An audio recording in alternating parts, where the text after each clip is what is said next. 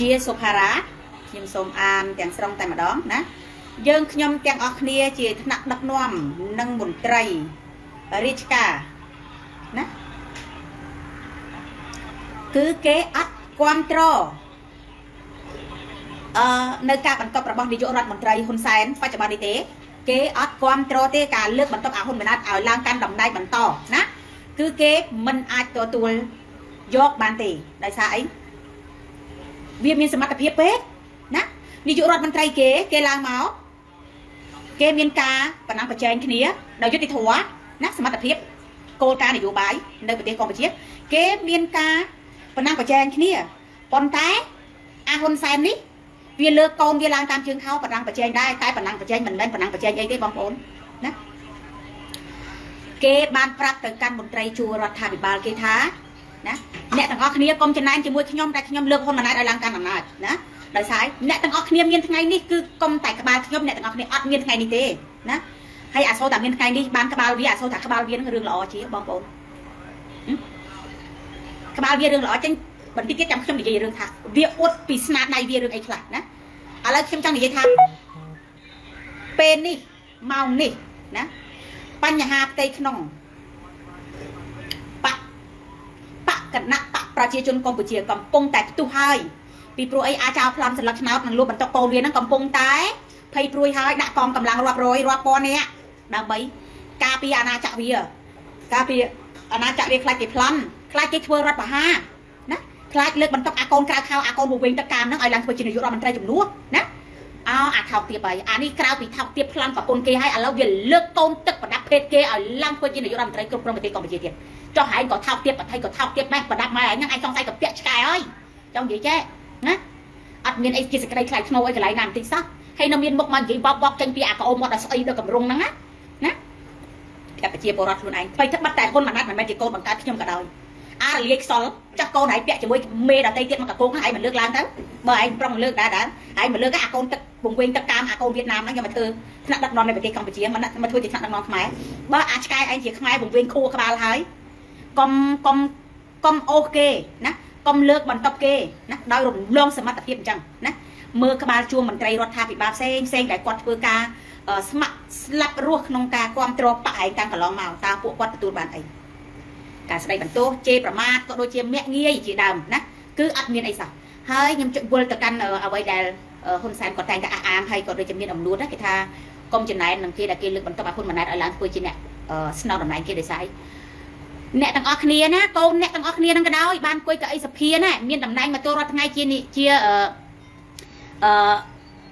ជារដ្ឋមន្ត្រីជាអីផ្សេងផ្សេងនេះគឺកុំតែបានក្បាលវាទេបើអត់ក្បាលវាក៏អត់មានបានអង្គុយនៅលើកៅអីណាជាថ្នាក់ដឹកនាំអ្វីផ្សេងផ្សេងមិនមែនថ្នាក់ដឹកនាំកម្ពុជាក៏ដោយតែក៏ជាមេគេក្នុងចំណោមមេដទៃទៀតអញ្ចឹងបានថាអ្នកអង្គុយនៅលើកៅអីសភាមួយចំនួនរស់ដោយសារស្នាដៃហ៊ុនសែនអញ្ចឹងប្រហែលជាអត់មានសិទ្ធិក្អកទេបើក្អកប្រហែលជាធ្លាក់ឈាមហើយ តែបើធៀបពីខ្ញុំវិញខ្ញុំមានអីទៅខ្លាចក្អកទេណាពីព្រោះអីហ៊ុនសែនមិនមែនឲ្យអ្នកទាំងអស់គ្នាទេណាអ្វីដែលវាយកមកអួតជាស្នាដៃនឹងអីគេបើអត់ក្បាលវាណាទៅប្លន់ពីលោកប៉ែនសវណ្ណមកបើអត់ក្បាលវាណាទៅរត់រកអាជនជាតិកពូជយួនណាយកមកសម្រាប់ខ្មែរបើអត់ក្បាលវាណាទៅលក់ក្បាលលក់ខួរ ក៏អត់មានរដ្ឋអំណាចមកដល់មកទល់បច្ចុប្បន្នដែរណាបើអត់ក្បាលវាខំប្រឆាំងនឹងបែងជើងអ្នកដតីវាប្រៀបដូចវាស្មើនឹងការធ្វើរដ្ឋប្រហារនៃការដណ្ដើមតំណែងគេក៏វាអត់មកដល់ចំណុចហ្នឹងដែរអញ្ចឹងអ្វីគ្រប់បែបយ៉ាងដែលវាខំប្រឹងសម្លាប់លោកបណ្ឌិតកែមលីលោកឈុតវុធីអ្នកនាងពិសិដ្ឋពីលិកាបាញ់ប្រហារអ្នកនាងទួយសនិចលោកជីវិជាអ្វីផ្សេងផ្សេងគឺសុទ្ធតែស្នាដៃវាទាំងអស់បើអត់មានស្នាដៃវាក៏អត់បានវាដើរមកដល់ចំណុចនេះដែរ ហើយបើអត់មានស្នាដៃវាបំផ្លាញអ្នកស្នេហាជាតិសម្រាប់អ្នកដែលមានចេះដឹងទាំងប្រមាណក៏អ្នកទាំងអស់គ្នាហ្នឹងមន្ត្រីជួយរដ្ឋាភិបាលថ្នាក់ក្រោមថ្នាក់ក្រោមហ្នឹងក៏អត់មានឱកាសបានអង្គុយនៅលើកៅអីសភាដែរបច្ចុប្បន្នណានេះហើយគឺជាសមិទ្ធផលហ៊ុនសែនដែលដែលបានខំប្រឹងតស៊ូប្រយុទ្ធប្រឆាំងជាមួយនឹងខ្មែរដូចគ្នាសង្គ្រាមដែលហ៊ុនសែនពូកែជាងគេគឺសង្គ្រាមប្លន់អំណាចគេណាសង្គ្រាមសម្លាប់ពូជខ្មែរដូចគ្នា វាខ្លាំងបានតែជាមួយខ្មែរដូចគ្នាវាអត់មានតែខ្លាំងជាមួយអ្នកដទៃណាកាទេអញ្ចឹងបានថាគ្រប់ទង្វើថោកទាបរបស់វាគឺវារមែងតែទទួលផលនៅអ្វីដែលវាសាងហើយមកអាថោកទាបចង់និយាយចឹងមិនចៃអាប្លន់តំណែងអាប្លន់តំណែងប្លន់សន្លឹកស្នាតប្រជាពលរដ្ឋទៅគិតថាបានក្តីសុខមែនគិតថាបានក្តីសុខមែនណាណាបោះឆ្នោតប្រមាណអាណត្តិណាប្រៀបធៀបមើលប្រទេសគេដទៃវាអត់ដែលមានគណៈបកប្រឆាំងណាគេទៅចូលរួមគូខ្វែងរាប់សែនរាប់លានអ្នកចឹងទេណា បើកាលណាគេគូខ្វែងរាប់សែនរាប់លានអ្នកបានន័យថាអ្នកឯងហ្នឹងវាអន់វាអសមត្ថភាពណាវាអត់មានចេះអត់ដឹងងងអីទេកំសោយយល់ទេអាកំសោយអាកំសាថាទៀតហើយដូចខ្ញុំនិយាយចឹងអ្វីគ្រប់បែបយ៉ាងទាំងអស់អ្នកឯងសាងអីគឺទទួលផលនឹងហើយណាអានាយករដ្ឋមន្ត្រីបភ្លីបភ្លឺហើយអត់មានអ្នកណាគ្រប់គ្រងទេបងប្អូនខ្ញុំនិយាយតាមត្រង់ខ្ញុំឆ្លៀតឱកាសការតវ៉ានៅតាមទីសាធារណៈផ្សេងផ្សេង អ្វីដែលខ្ញុំអាចធ្វើបានដើម្បីប្រជាពលរដ្ឋរបស់ខ្ញុំខ្ញុំនៅតែស៊ូឆ្លៀតឱកាសថារងថ្ងៃ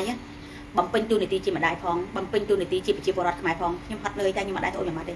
សំខាន់កុំឲ្យខ្ញុំហត់ចិត្តបើខ្ញុំហត់ចិត្តខ្ញុំដើរទៅមុខអត់រួចទេតែបើខ្ញុំហត់កាយដល់ណាក៏ខ្ញុំដល់ដែរខ្ញុំនៅតែមានកម្លាំងតស៊ូរហូតខ្ញុំអត់រៀថយទេណាហើយក៏ខ្ញុំសូមផ្ដាំផ្ញើទៅកាន់អ្នកដែលគ្រប់គ្រងអាចោប្លន់ហ្នឹងបន្តិចទៀតអាចោប្លន់ហ្នឹងនឹងសອບស្នងសងគុណហើយណា បច្ចុប្បន្នបោះឆ្នោតហើយអាចោប្លន់សម្រាប់ឆ្នោតហ្នឹងវាកំពុងតែតបស្នងសងគុណមន្ត្រីថ្នាក់ក្រោមរបស់វាបន្តិចទៀតវានឹងតបស្នងសងគុណទៅកាន់អឺប្រជារាស្ត្រដែលផ្កាត់មុខរបស់វាហើយអ្នកទាំងអស់គ្នាត្រូវតោងយល់ខ្ញុំបញ្យល់អ្នកទាំងអស់គ្នាតិចទៀតអ្នកទាំងអស់គ្នានឹងជួបហានិភ័យមួយហ្នឹងហើយយើងមើលអ្នកកាន់កាប់ប្រាក់ខែមន្ត្រីរាជការក៏ជាតកូលហ៊ុនអ្នកនៅអ្នកអ្នកអឺ អ្នកមានភាគហ៊ុនផ្នែកធនាគារមីក្រូហេរ៉ាញ់វត្ថុនិងអន្តទានក៏ត្រកូលហ៊ុនណាអ្នកសាងសង់បូរី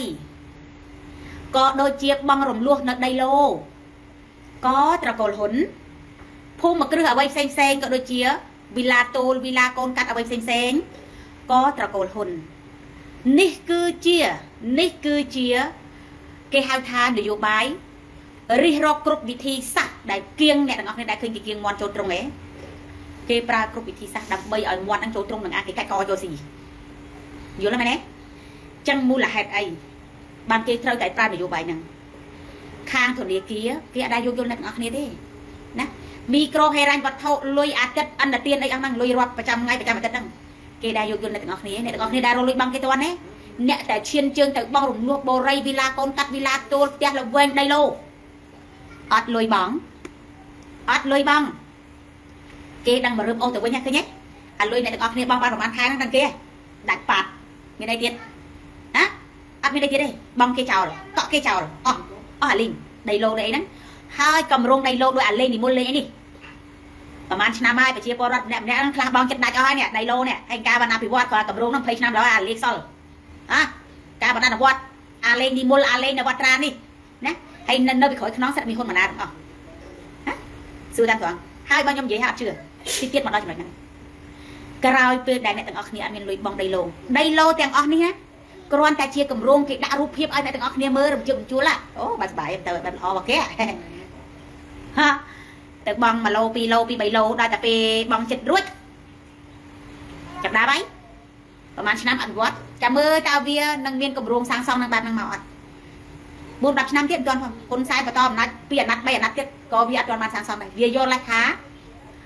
ចាំឲ្យមានប្រជាពលរដ្ឋបងរំលោះឲ្យមានអធិដ្ឋានមកទិញអាដីលោកឲ្យបានច្រើនយើងបញ្ជូនគម្រោងហ្នឹងតែម្ដងធ្វើឲ្យគេធ្វើប្លង់តែម្ដងហើយតែតាមពិតគឺអត់គម្រោងខ្ចលទេគឺជាគម្រោងខ្ចលទេណាខ្ញុំក៏អត់តែប្រាប់ប៉ុណ្ណឹងអញ្ចឹងសង្ឃឹមទៅសង្ឃឹមទៅតែបើបានខ្ញុំជួយអ99%គឺអត់អ្នកណាដែលបងហើយដាច់ក៏អត់ទាន់មានគម្រោងដែរ ហើយបើសិនជាដីរបស់វាបើសិនជាបងប្អូនថាឥឡូវខ្ញុំចង់ចំបងមកប្រទេសខែខ្ញុំអត់ចង់បានវិញខ្ញុំចង់លក់វិញវាតែទិញចូលមកឯងវាមិនទិញចូលទេវាឲ្យអ្នកទាំងអស់គ្នាលក់ទៅឲ្យអ្នកស្គាល់គ្នាហើយអ្នកទាំងអស់គ្នាលក់របៀបម៉េចណាបើដីផ្លោរបស់វាហ្នឹងទៅលក់របៀបម៉េចលក់របៀបម៉េចឥឡូវខ្ញុំសួរមើលលក់មិនចាញ់ទេលក់មិនចាញ់ទេចឹងហើយវិធីសាស្ត្រហ្នឹងដែលគេហៅថាជន់កតគ្នាគឺឲ្យងាប់ឲ្យងាប់មួយជន់នេះណាធនាគារក៏គេមករឹតក ណាអាខាងផ្ទះល្វែងខាងដីឡូក៏គេប្លន់ណាក៏គេប្លន់លុយដោយសុវត្ថិភាពអ្នកទាំងអស់គ្នាទៅរកប្រព័ន្ធតុលាការតុលាការអាសែនទៀតហ៎ដាក់លុយហ៎ដំណើរការក្តីប្រហែលប្រហែល100ប្រហែលពាន់ហ៎មេធាវីភាកច្រើនបច្ចុប្បន្នជាមេធាវីរបស់រាជរដ្ឋាភិបាលអ្នកទាំងអស់គ្នាចុះទឹកកពើឡើងលើខ្លោហើយគេថា3000 4000 5000 6000តាមអឺ ស៊ីតាមតូចតូចអ្នកតូចស៊ីតាមតូចអ្នកធំស៊ីតាមធំគេថាអ្នកក្រគេស៊ីបាន1000 2000ចឹងទៅបើយើងអ្នកមានលុយដែរគេមើលយ៉ាងធនធានចឹងទៅស៊ីបាន10000 20000នេះចឹងទៅចាតែឲ្យលុយតែមេធាវីដំណើរការក្តីហើយមេធាវីស្ដេចប៉ាត់អត់ទទួលបានរឿងក្តីនេះទេបាត់សម្លរឿងចោលឆឹងឆឹងបើមិនចឹងក៏ពជាពេលដែរអូចាំថ្ងៃនេះថ្ងៃនោះដេកទៅទៅដាំចេកដាំចេកនោះបាន3 4តទៀតខ្ញុំមិនទាន់ផងដេកទៅ នេះហើយជាវិធីសាស្ត្រដែលគេហៅថាជន់កខ្មែរឲ្យក្ររហេមរហាមអាខ្មែរដែលមួយចំនួនដែលគ្មានខួរក្បាលអាប់ដេតណាណាអាខួរក្បាលកាត់មុខត្រៀមខ្លួនឲ្យហើយទៅណាដូចខ្ញុំនិយាយចឹងអនាគតខ្មែរអាអ្នកខួរឆ្កែមិនភ្ញាក់កំណត់នៅតែកាត់មុខត្រៀមខ្លួនបញ្ជូនកូនទៅធ្វើជាស្រីពេជ្រាកូនប្រុសទៅជក់គ្រឿងញៀនធ្វើចោលផ្តាន់ណានឹងដើរធ្វើកាជះគេទៅកាន់ក្រៅប្រទេសយល់ទេ បងប្អូនពលករដែលគាត់ទៅធ្វើជាកម្មពលករពលករនេះនៅក្រៅប្រទេសគេសិតតែក្រោកឡើងទាំងអស់មានខួរក្បាលមើលគេជាគំរូទេណាខ្លួនឯងដែលខ្លាចខ្លាចចឹងតើមុននឹងក្រោយតើវាមកដល់ទេគេកំពុងតែជន់កឲ្យលៀនអណ្ដាតហើយឲ្យវាភ្ញាក់កំណត់ខ្លះផងណាការផ្ដាច់ផ្ដាច់ជំនួយក្នុងមួយឆ្នាំ18លានអ្នកទាំងអស់គ្នាគួរតែដឹងហើយមិនមែន8 10លានខ្មែរទេគឺ8 10លានដុល្លារហើយក៏មិនមែនងាត់ហ៊ុនសែនដែរហ៊ុនសែនវាអត់ងាត់ទេវាមិនងាត់ទេរាល់ថ្ងៃនោះ វាធ្វើជាឆ្កែបំរើយួនចិនវានាំផលិតផល ពីយួនពីចិនទៅណាដំណាំកសិផលរបស់ប្រជាពលរដ្ឋខ្មែរសូន្យអត់ចោលចាំមើលអ្នកឯងគ្មានទីផ្សារវាស្មើនឹងអ្នកឯងអត់ដង្ហើមអ្នកឯងមានអុកស៊ីសែនណាដល់ទៀតអត់មានទេដេកចាំតែងាប់ទៅខ្ញុំចង់និយាយចឹងណាអាពួកមានអត់ខួរអាអត់ខួរមួយចំនួនណាបើខ្លួនគ្មានចំណេះដឹងទេបើខ្លួនមានខួរក្បាលគិតមានក្របភ្នែកខ្វាក់មើលមិនបានឆ្ងាយទេ យល់ល្អរៀនស្ដាប់គេខ្លះផងទៅកុំអាល្ងងខ្លៅបាច់ខួរក្បាលហើយណាចុចចេះរឹងរូសមិនចេះស្ដាប់គេនោះទេណាគេនិយាយគាត់ចង់ល្អមិនល្អម៉ែឪខ្ញុំទេខ្ញុំនិយាយចឹងហ្មងហើយខ្ញុំក៏ចង់ប្រាប់មួយទៀតណានៅពេលដែលគេដាក់ទណ្ឌកម្មមកកាន់ហ៊ុនសែន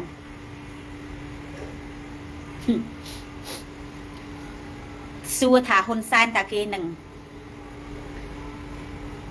រិះរកវិមធ្យោបាយដើម្បីឲ្យបងប្អូនដកដង្ហើមដែរឬទេ អត់ទេមធ្យោបាយរបស់ហ៊ុនសែនមានតែបិទខ្ទប់ច្រកឲ្យប្រជាពលរដ្ឋខ្លួនមិនថាអាអ្នកកាប់មុខអាអ្នកកាប់មុខអាអ្នកខ្លាចហ្នឹងណាដឹកខ្យល់ម្ដងបន្តិចម្ដងបន្តិចវាស្មើនឹងបន្ថយអុកស៊ីសែនដកដង្ហើមរបស់អ្នកទាំងអស់គ្នាហើយអ្នកទាំងអស់គ្នាចាំមើលទៅដូចខ្ញុំនិយាយចឹងអាកឲ្យដំពងរើសយកមួយណាយកដល់ណាព្រោះលទ្ធិប្រជាធិបតេយ្យអ្នកទាំងអស់គ្នាគឺអត់រើសយកទេគឺអត់រើសយកទេ ខ្ញុំមើលឃើញចលនាដែលដែលធ្វើការប្រតិកម្មពីបងប្អូនបណ្ដាប្រទេសផ្សេងផ្សេងមិនថាពលករពលករនីយើងផ្សេងផ្សេងនៅបណ្ដាប្រទេសផ្សេងផ្សេងនៅក្រៅពួកគាត់គឺស្រស់គ្នាណាណាគាត់ហ៊ានណាអូអាអ្នកនៅក្នុងស្រុកហើយតែក្រើងកូនណាកូនកំលេងខ្លាំងពេកញ៉ាំម៉ែនៅក្នុងស្រុកហើយខ្លាចទីងាប់ទៅម៉ែឲ្យខ្ញុំបងប្អូនខ្ញុំនៅក្នុងស្រុកណាខ្ញុំអត់ខ្លាចម៉ែឲ្យបងប្អូនខ្ញុំងាប់ទេមកសួរអ្នកទាំងអស់គ្នាអាកាត់មុខមានកាត់មុខមួយចំនួនណា ហើយក៏ខ្ញុំសូមអធិស្ឋានទៅកាន់អ្នកមួយចំនួនដែលចូលរួម comment ណាអ្នកខ្លះដូចជាម៉ាក់បៃបៃគាត់បើសិនជាគាត់ចង់តាមដានទៅការ live របស់ខ្ញុំឬគាត់មិនចង់តាមដានគាត់ក៏អាចមិនតាមដានបានណាម៉ាក់បៃបៃគាត់មើលឬមិនមើលជាសិទ្ធិរបស់គាត់ខ្ញុំអត់បានទៅអូគាត់មកឲ្យមើលខ្ញុំទេណាខ្ញុំជម្រាបគាត់តិចហើយកុំចេញមកចរិតរបៀបណាធ្វើចរិតដូចជាម៉ែខ្ញុំណាកុំមកបញ្ជាខ្ញុំខ្ញុំប្រាប់ឲ្យហើយ បើចេញមកនិយាយនិយាយទៅកុំចាំឲ្យគេអង្គុយមើលមុខយើងរត់ម៉ោងរត់នីតិចុយចង់នាងឯងក៏ស្អីគេហងចង់និយាយចាម៉ែអញហ៎ហ៎ចង់និយាយចង់ខ្ញុំអត់ខ្វល់ទេមើលខ្ញុំក៏មើលមិនមើលក៏ហីសម្រាប់អ្នកដែលប្រើភាសាមករបៀបបាត់គេហៅថាមនុស្សមនុស្សអសិលធម៌ណាខ្ញុំអសិលធម៌ជាជាមួយមនុស្សថោកទៀតទេខ្ញុំនិយាយមែន តែបើសម្រាប់បងប្អូនអ្នកដែលគេតាមដានគឺជាធម្មតាខ្ញុំចូលមកខ្ញុំត្រូវមើលណាអ្វីដែលជាទាំងស៊ីបខ្ញុំត្រូវបាញ់អ្វីដែលខ្ញុំត្រូវនិយាយមិនមែនចូលមកខ្វាត់និយាយអត់ដឹងក្បាលដឹងកតុយអីមកទេខ្ញុំចង់និយាយចឹងណាព្រោះបដការនិយាយខ្ញុំរួអត់មានចាំបាច់អានប្រូប្រធានបទអីមែនប៉ុន្តែក៏យើងត្រូវមើលថាប្រធានបទអ្វីដែលយើងគួរតែនិយាយប្រធានបទអ្វីដែលយើងគួរបាញ់មិនមែនចូលមកភ្លាមហើយជំរាបសួរអមពីបងប្អូនថ្ងៃហ្នឹងខ្ញុំខ្ញុំខ្ញុំខ្ញុំគិតតែនិយាយហូនហ្មងហ៎សួរតាមត្រង់មើលហើយគាត់មកបញ្ជាបានខ្ញុំគាត់ខ្ញុំនិយាយឲ្យភាសាឆ្លើយម៉ាត់ឲ្យខ្ញុំប្រមាណអ่ะ ទិញក្បាលខ្ញុំប្រហែលហ៎សួរតាមត្រង់មកបៃបៃមែនខ្ញុំមកជីវិតខ្ញុំខ្ញុំចូលចិត្តអ្នកបញ្ជាតែបើខ្ញុំចូលចិត្តអ្នកសំណុំពរអ្នកសំណុំពរហ្នឹងក៏មានមានជាច្រើនសន្តានដែរសំណុំពរខ្ញុំតែក៏ត្រូវមានអ្វីមកដោះដូរដែរណាដូចជាមានវីដេអូថ្មីថ្មីឬការ live ថ្មីថ្មីរបស់ហ៊ុនសែនហ៊ុនម៉ាណែតឬក៏មិនដឹងជាលុយកាក់ទេណា ឬក៏មន្ត្រីធំធំជួររដ្ឋាភិបាលដែលមានប្រតិកម្មអ្វីមួយឬក៏និយាយស្ដីអ្វីមួយដែលស្ដាប់ទៅមិនចូលទៅជាអូខេផ្ញើមកកាន់នាងខ្ញុំសរសេរសម្លេងឬសារសម្លេងតែមួយម៉ាត់មីងចង់ឲ្យក្មួយនិយាយពីបញ្ហានេះបងចង់ឲ្យបងនិយាយពីពីបញ្ហានេះបងចង់ឲ្យបងស្រីនិយាយពីបញ្ហានេះមួយបងអូខេណាគឺខ្ញុំបញ្ហាដោះដូរខ្ញុំមានតែប៉ុណ្្នឹងឯងបើខ្ញុំមើលទៅខ្ញុំអាចនិយាយគឺខ្ញុំនិយាយបានយ៉ាងល្អ អញ្ចឹងថ្ងៃនេះខ្ញុំឆ្លៀតឱកាសបានតែរយៈពេលរៀងខ្លីដែរទេដោយសារតែខ្ញុំជាប់រវល់ធុរៈប្រហែលថ្ងៃនេះគឺខ្ញុំធុរៈតខ្លួនខ្ញុំរហូតចារហូតដល់ចុងអាទិត្យហ្នឹងបានខ្ញុំរួចរាល់ធុរៈហើយក៏សូមខន្តីអធិស្ឋានពីពុកម៉ែបងប្អូនអ៊ំពូមីងទាំងអស់បើសិនជាការ live របស់នាងខ្ញុំមានភាពដូចថាមិនចិនជារៀងរាល់ថ្ងៃក៏ដូចជាបាត់វត្តមាននាងខ្ញុំពីរបីថ្ងៃទៀតឃើញម្ដងអីក៏សូមខន្តីអភ័យទោសហើយក៏ពេលខ្លះខ្ញុំមានការហត់ដែរមិនមែនថាមិនហត់ទេហត់តែនៅតែឆ្លៀត ហត់ហត់យ៉ាងណាប្រទេសជាតិខ្ញុំគឺខ្ញុំអត់ចោលសង្គមខ្ញុំហាត់ខ្លាំងពេកដូចថាខ្ញុំទៅធ្វើការងារខាងក្រៅដូចជាការទៅដាក់ញត្តិឬក៏ទៅចូលរួមជាមួយសកម្មជនផ្សេងផ្សេងក្នុងការលើកផ្លាកដូចជាខ្ញុំបានផុសអញ្ចឹងឬក៏ធ្វើជាវីដេអូដើម្បីប្រតិកម្មទៅកាន់រដ្ឋាភិបាលក៏ដូចជាការជេរប្រមាថអីចឹងចឹងតាមរយៈការធ្វើវីដេអូខ្លីៗរបស់ក្រុមសកម្មជនបងប្អូនយើងដែលជួបភីខ្លួននៃម៉ែម៉ាផ្សេងផ្សេងខ្ញុំធ្វើខ្ញុំចូលរួមធ្វើមកវិញខ្ញុំមានពេលវេលាខ្ញុំមានកម្លាំង ខ្ញុំក៏ឆ្លៀតឡាយបានរយៈពេលខ្លីឬវែងអាហ្នឹងវាអាស្រ័យនៅលើពេលវេលារបស់ខ្ញុំណាដោយសារតែខ្ញុំមកវិញក៏វាល្ងាចហើយដែរហើយណាមួយខ្ញុំវាមានធុរៈតខ្លួនផងធុរៈដើម្បីប្រទេសជាតិរបស់យើងផងយើងចេះតែរួមចំណែកគ្នាខ្ញុំចេះតែឆ្លៀតឱកាសរហូតហើយបើសិនជាពាក្យពេចន៍ដែលខ្ញុំប្រើអឺមានពាក្យសម្ដីត្រង់ណាដែលលឹះលួសខ្វះខាតក៏សូមពុកម៉ែបងប្អូនអ៊ំពូមីងទាំងអស់មេត្តាខន្តីអភ័យទោសដោយសារតែពេលខ្លះភាពហត់នឿយភាពហត់នឿយបើកាលណា ការខមមិនឬមួយក៏ការសរសេរជាសំណេរអ្វីមួយមកដូចថាវាមិនមិនវាប៉ះពាល់អារម្មណ៍អញ្ចឹងខ្ញុំមានអារម្មណ៍ថាឆេឆាវអញ្ចឹងខុសត្រូវក៏សូមខន្តីអភ័យទោសផងហើយការឡាយនៅថ្ងៃនេះខ្ញុំមានរយៈពេលតែប៉ុណ្ណឹងទេក៏មិនដល់ទីបញ្ចប់ហើយក៏អត់អត់អត់បានអាននៅ comment ដែរហ្នឹងហើយ